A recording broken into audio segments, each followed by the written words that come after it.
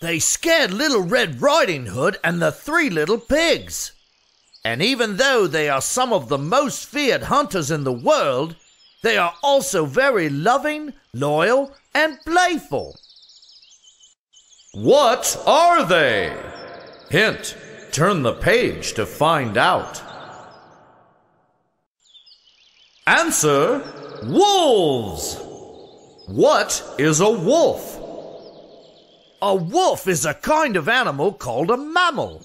Many mammals have hair and feed their babies with milk. You're a mammal too. Red wolf, Ethiopian wolf, gray wolf. Kinds of wolves gray, red, Ethiopian. There are three different types of wolves in the world the gray wolf, the red wolf, and the Ethiopian wolf. Red and Ethiopian wolves are smaller and more slender than gray wolves, and they are more rare. Wolves are related to jackals, foxes, coyotes, and dogs. But most wolves are a lot bigger than man's best friend. Wolves can weigh over 100 pounds and be over six feet long from their nose to the tip of their tail.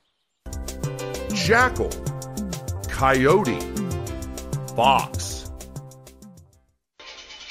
Believe it or not, wolves are related to all dogs.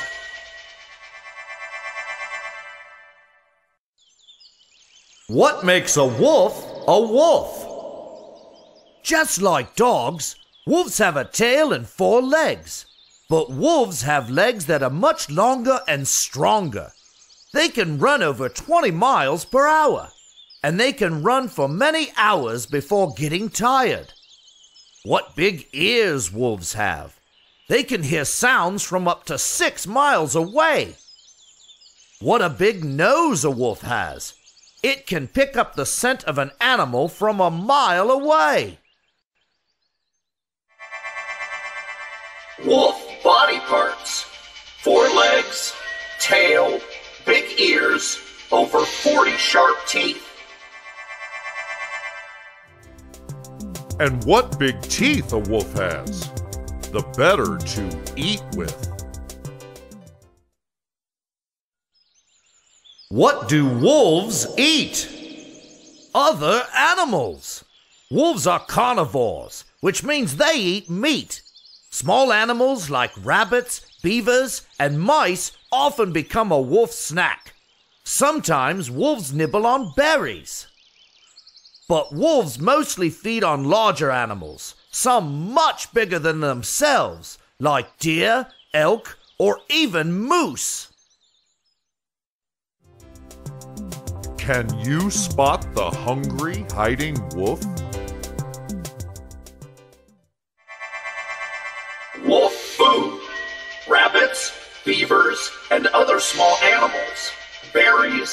Deer, moose, and other large animals. Where do wolves live? While dogs like to live at home with you, a wolf needs to live out in the wild to be happy. A wolf is a wild animal. Dogs are domesticated animals that descended from wolves. Domesticated means they have learned to live with people. Wolves can be found in most northern parts of the world. Many live in the forests or prairies where there is plenty of food. Some wolves, like the Arctic wolf, a kind of gray wolf, live on the icy cold tundra. An Arctic wolf has tufts of hair between its paw pads to help it run on ice. Wolf homelands, northern regions, forests, prairies, tundra. How do wolves live? Wolves usually live together in a group called a pack. A pack may have less than six or more than 20 wolves. Members of the pack care for and protect each other. They live together as a family.